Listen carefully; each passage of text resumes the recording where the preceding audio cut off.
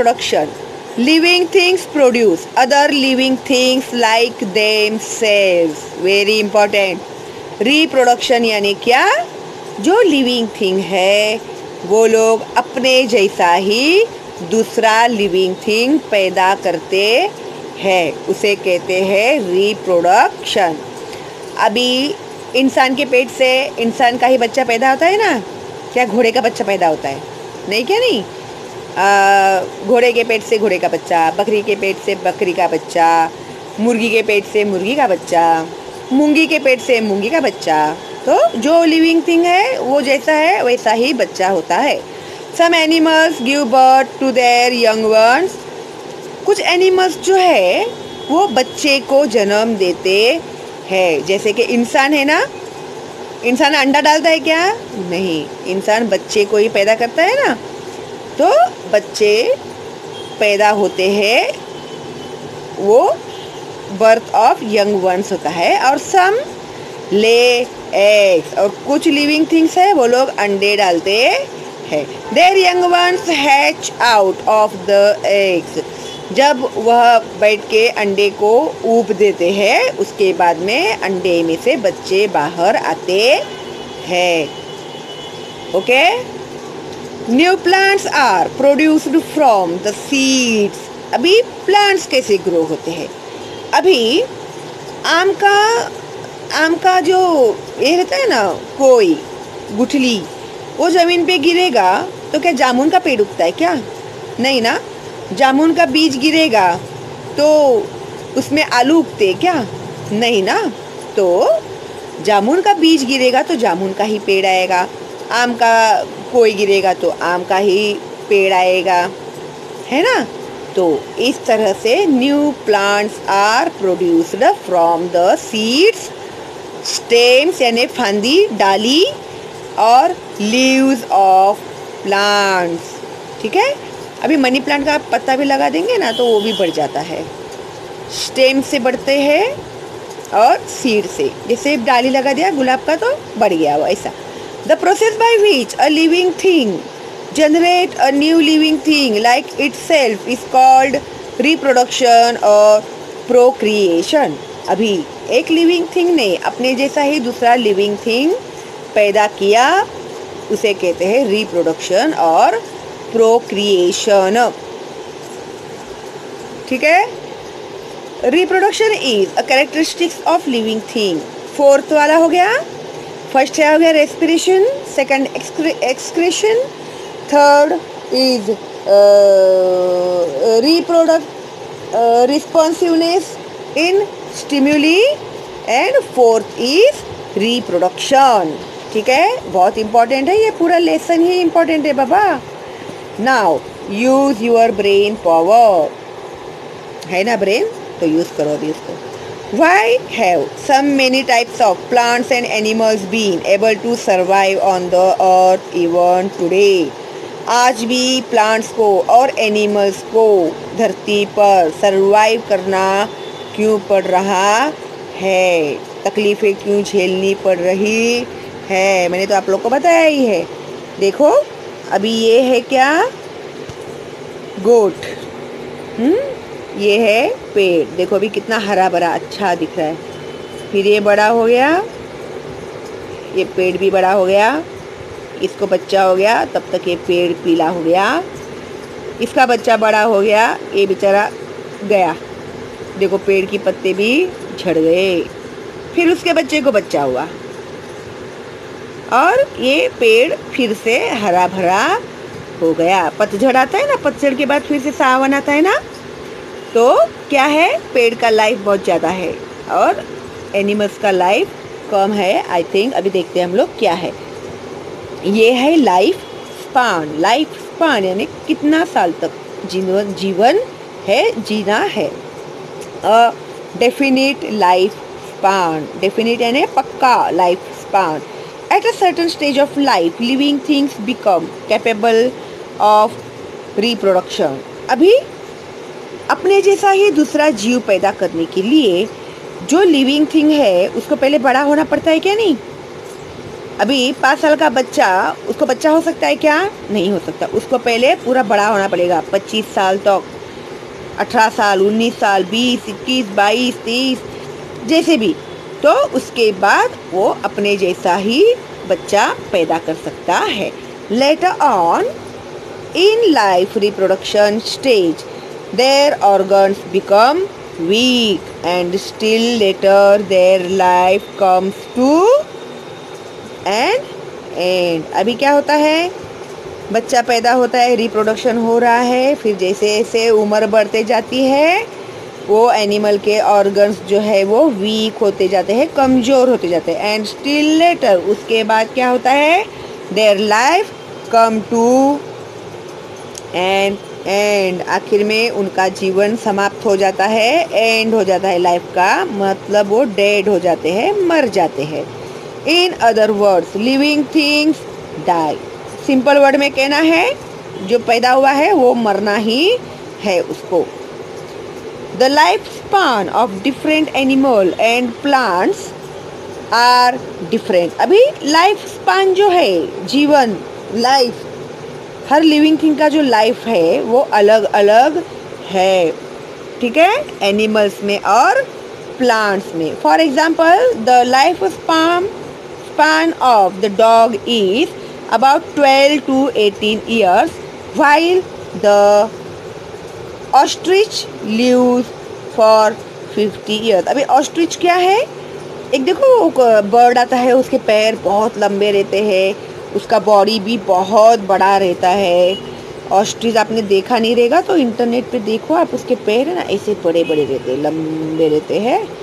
और उसका जो बॉडी होता है ना, वो बहुत ही होता है इसे उसका गला भी लंबा रहता है बहुत, ऐसे। देखो, इस तरह से। और उसके जो फेदर्स रहते हैं ना, बहुत मोटे रहते हैं। हाँ इस तरह से रहता है ये ऑस्ट्रिच इसका लाइफ स्पैन कितना है? Fifty years you may have wondered what exactly the living things are how they came into being and so on तो हम लोगों को ऐसे सरप्राइज़ लगता है वॉन्डर्ड होना यानी थोड़ा अजीब लगना कि एग्जैक्टली लिविंग थिंग का, ये जो है life span how they came in being and so और कैसे वो लोग जीते हैं? डू यू नो क्या आपको पता है? The life span of the giant turtle देखो, ये है टर्टल यानी कछुआ, बहुत बड़ा कछुआ है।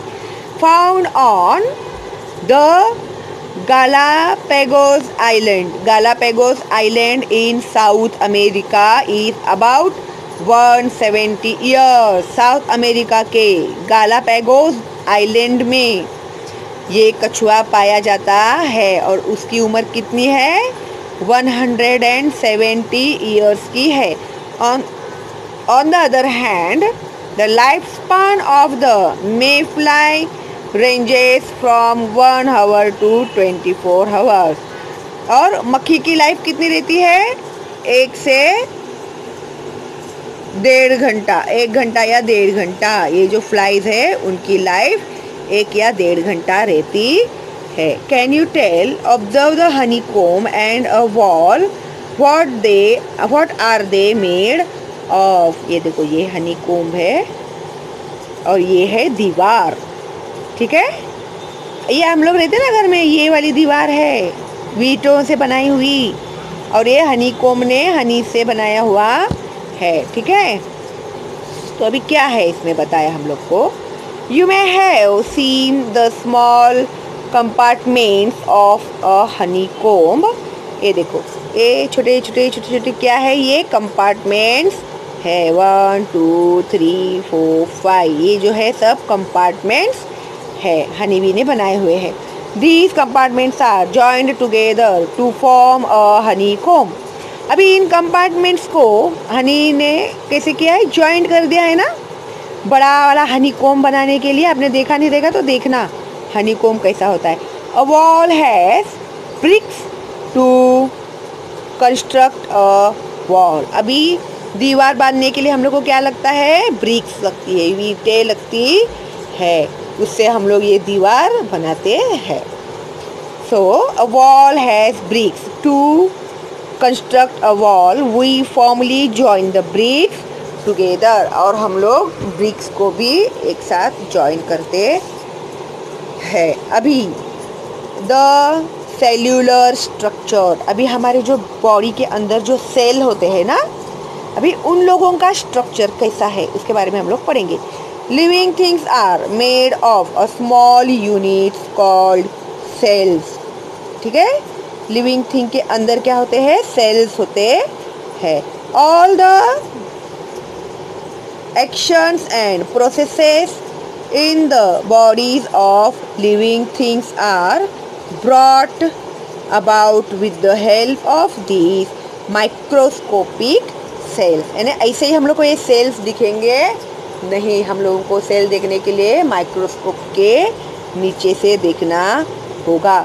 और अपने बॉडी में जो भी एक्शन होता है, जो भी प्रोसेस होता है लिविंग थिंग्स के अंदर, वो किसकी वजह से होता है? इन माइक्रोस्कोपिक सेल्स की वजह से होता है। Some living things are made of a single cell यानी कुछ लिविंग थिंग्स ऐसे है जो एक ही सेल पर ज़िंदा रहते हैं। These are called unicellular organism fill in the blanks your answer in one sentence yeah true or false on the other hand the living things that are made of many cells are called multicellular organism जो living things में एक से ज़्यादा बहुत सारे sales होते हैं उसे कहते हैं multicellular organisms the amoeba and some other microorganisms are unicellular. अभी अमीबा गिव एग्ज़ाम्पल यूनिसेल्यूलर में क्या आएगा? अमीबा और मल्टी सेल्यूलर में तो बहुत सारे हैं। Are unicellular while man cow mouse cockroach elephant banyan tree the onion plants, etc. are all multicellular organs. All the characteristics of living things are seen in every cell of a living thing. जितने भी living things है उन लोगों के अंदर आप लोगों को सेल दिखाई ही देंगे चाहे वो मल्टी सेलुलर हो या वो यूनिसेलुलर हो लेकिन सेल तो होता ही है इट इज़ यूनिसेल्यूलर और मल्टी सेल्यूलर यूनिसेल्यूलर यानी एक ही और सेल्यूलर यानी बहुत ज़्यादा cell cellular structure is the main characteristic of living thing fifth point cellular structure are main characteristics of living things even though the number of cell में vary चाहे उनके बॉडी में कितने भी नंबर्स ऑफ़ सेल्स हो। देखो, ये क्या है? वेरियस लिविंग थिंग्स यहाँ पर बताए हैं। बहुत बड़ा पेड़ बताया है, छोटा वाला भी दिखाया है, ये स्नेल भी दिखाया है और बड़ा एलिफेंट भी दिखाया है। और ये है पिजन ये है कॉकरोच ये है पेरामोशियम पेरामोशियम और अमीबा यूनिसेलुलर में, गिव टू टू नेम्स में ये नाम आएँगे आपको पूछने के लिए। तो यूनिसेलुलर एक ही सेल होता है इसके अंदर, देखो, ये एक ही सेल होता है। तो ये दो नाम पक्का कर लीजिए अपने दिमाग में। बाकी मल्टी सेलुलर में तो आप लोग कितने भी नाम लिख सकते हैं, एनिमल्स और प्लांट्स और ह्यूमन बींग्स के। ठीक है?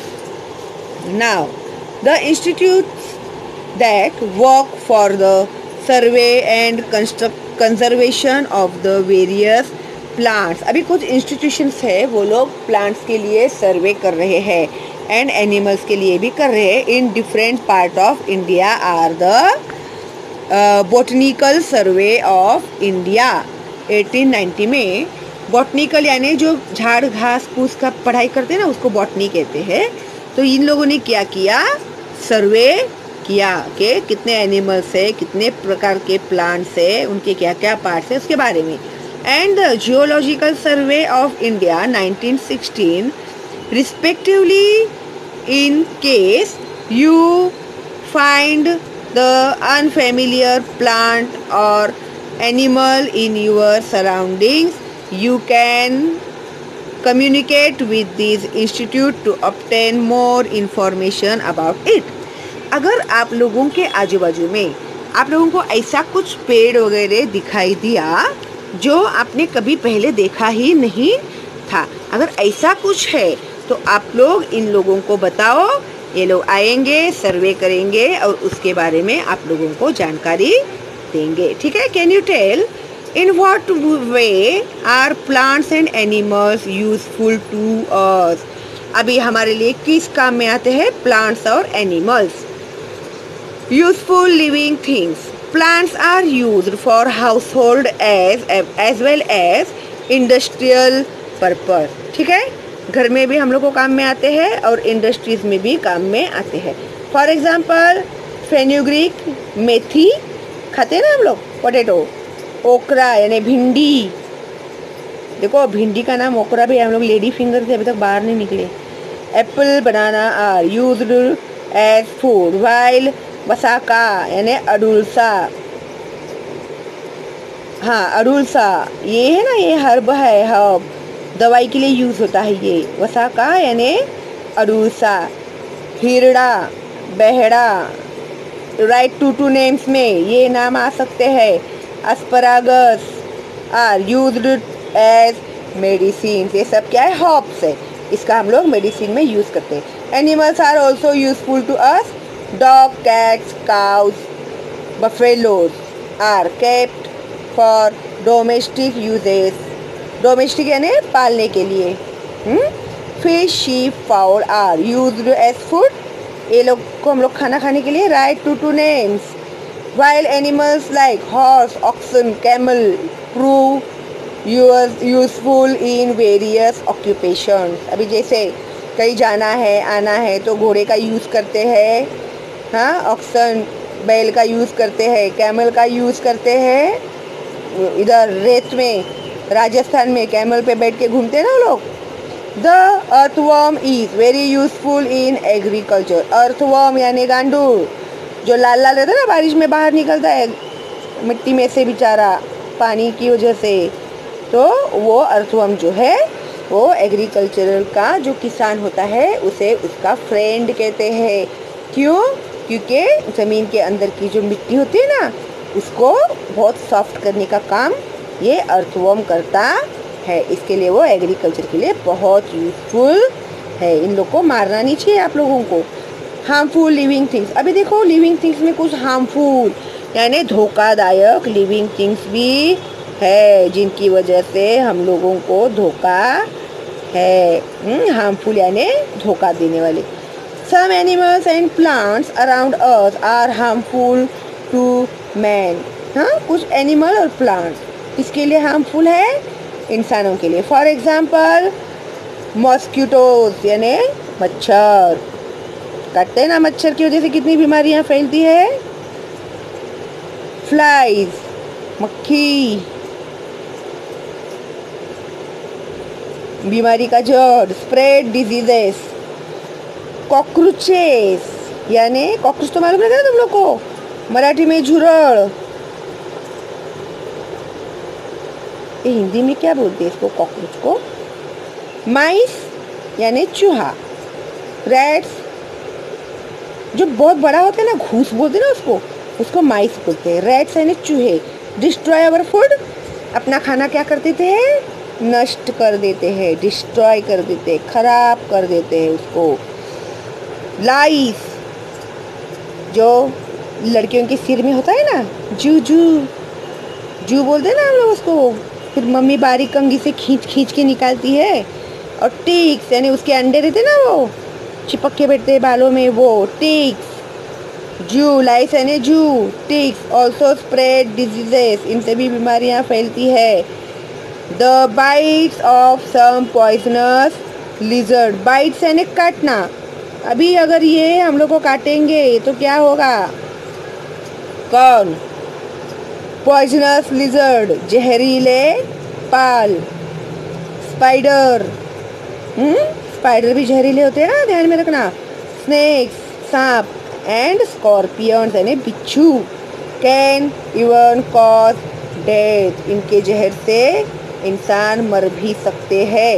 If you if wild elephants enter human settlements they cause a lot of destruction अभी एलिफेंट्स नॉर्मली जंगल में रहते हैं, लेकिन कभी कभार क्या हो जाता है? ये लोग इंसान जहाँ रहते हैं, वहाँ पर घुस जाते हैं। तो घुसते हैं तो पूरा घर तोड़ डालते हैं, इंसानों को नुकसान करते हैं, पता नहीं कुछ भी हो सकता है फिर। एलिफेंट के साथ तो कौन लड़ेगा? इतना बड़ा रहता है वो और कितना ताकतवर रहता है तो वो भी बहुत नुकसान कर देता है। क्या करता है? नुकसान। Some plants too can be harmful कुछ प्लांट्स भी है जो बहुत हार्मफुल है। धोखादायक है हम लोग के लिए। As for example the dodder parthenium and other weeds अभी देखो। आ? हाँ? ये धोतरा का जो पेड़ होता है इनके ना नाम तुम लोग याद कर लो और स्पेलिंग भी प्लीज़ याद कर लेना। राइट टू टू नेम्स में ना ये पक्के आते हैं? या फिर आप लोग को पूछेंगे कि हार्मफुल क्या क्या है लिविंग थिंग्स के लिए तो उसमें भी आप लोग को ये लिखना पड़ सकता है। Parts of the nettle, colocasia leaves cause itching. हाँ ये जो है ना खुजली वाला पेड़ ध्यान में रखना इन लोग के नाम। खुजली वाले पेड़ है ये खुजली बनाते ही इचिंग करना है इन्हें खुजाना। प्लांट्स लाइक ओलियंडर लंटाना है स्ट्रॉन्ग ऑर्डर काटे रहते उसके अंदर बहुत ज़्यादा। The datura plant is poisonous uncontrolled growth of fungi and algae in water pollutes drinking water and may the spread of diseases अभी बारिश के मौसम में हम लोग देखते हैं ना पौंड में, तालाब में, नदी में, सब क्या हो जाता है, फंगी लग जाती है, पूरी ग्रीन ग्रीन ग्रीन ग्रीन गंदी चिक्कट चिक्कट हो जाती है वो। फिर अगर हम लोग वही गंदा वाला पानी पियेंगे तो क्या होगा? क्या बढ़ेंगी? बीमारियाँ बढ़ेंगी। डिज़ीज़ यानी बीमारी। अलग अलग तरह के जैसे पानी की वजह से फैलने वाली बीमारियाँ कौन सी है?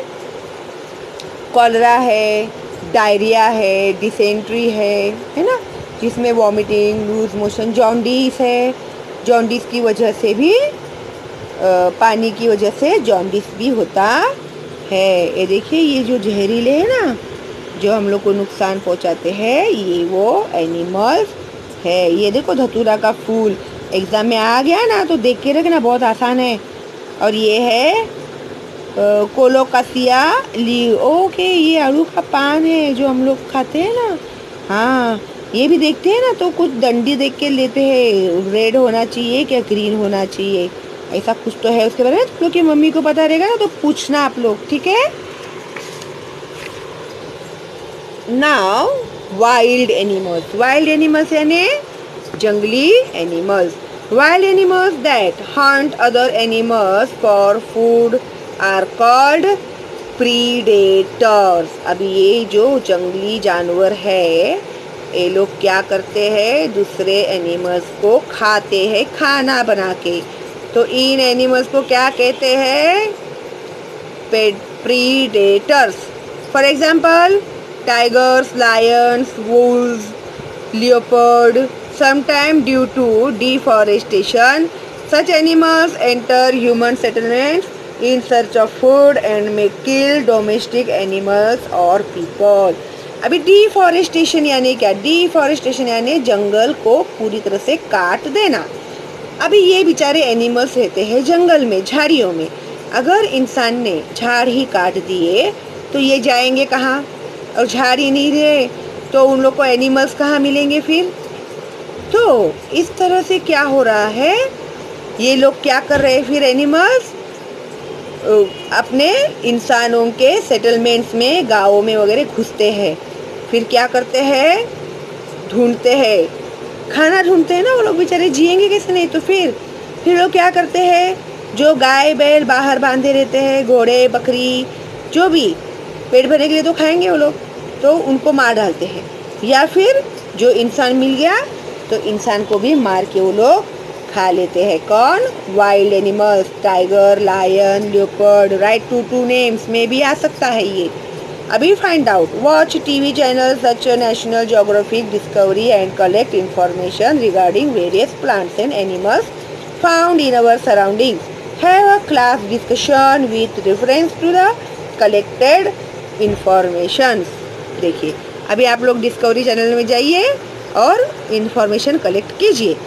ऑलवेज रिमेंबर यानी हमेशा याद रखिए many plants and animals in nature satisfy our needs, plants और एनिमल जो कुदरत में है, वो लोग हमारी ज़रूरतें पूरी करते हैं।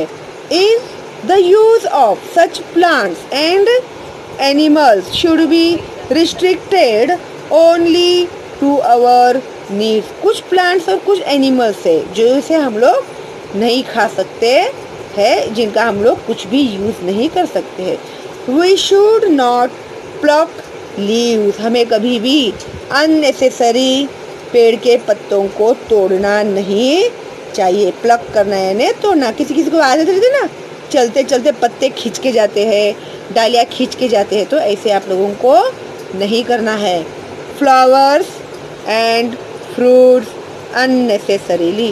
बिना वजह पत्तों को, फूलों को, फलों को नहीं तोड़ना चाहिए। अननेसेसरीली यानी बिना वजह। Animal should not be hunted animal का शिकार नहीं करना चाहिए। हंटेड यानी शिकार करना।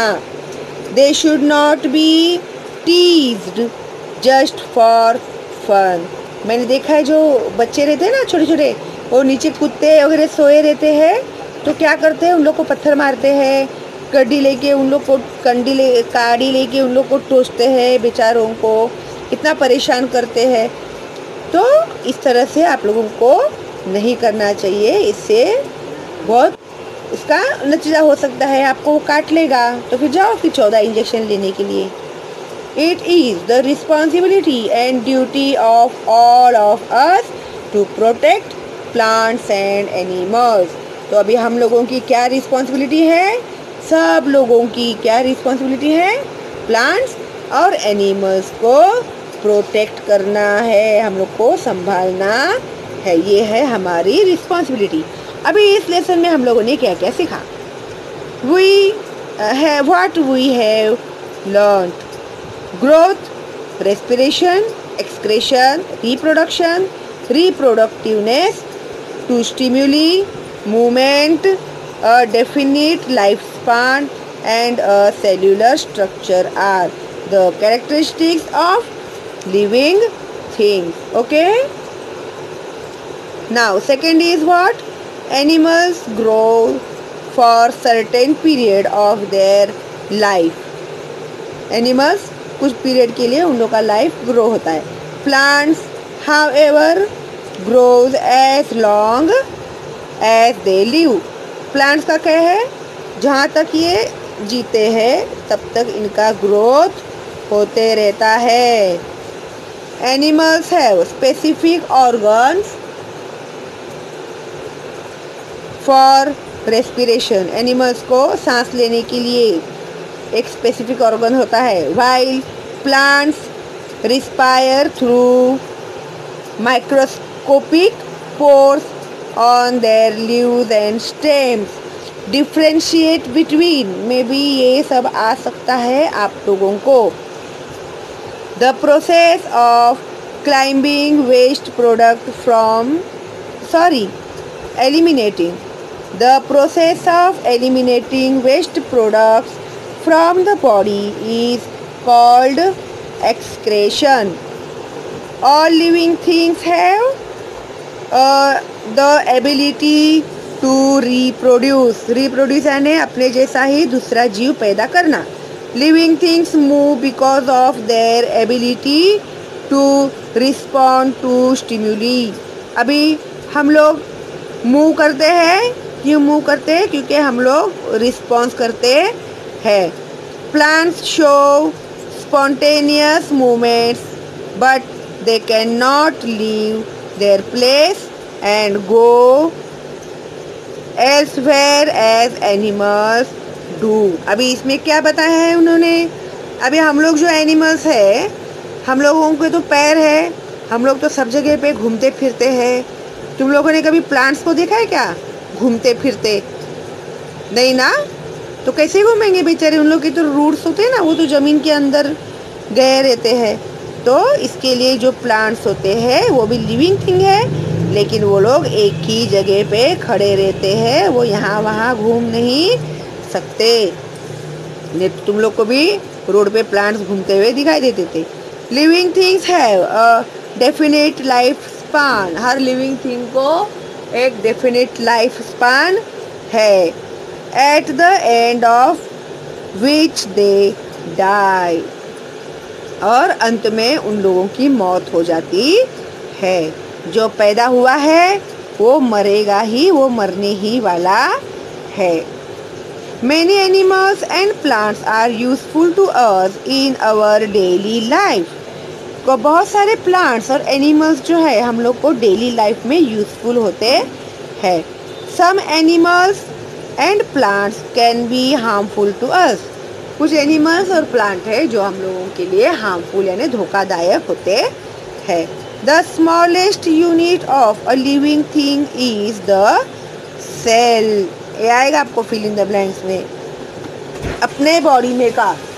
स्मॉलेस्ट लिविंग थिंग क्या है? सेल है। जिसकी वजह से ही हम लोग ज़िंदा है।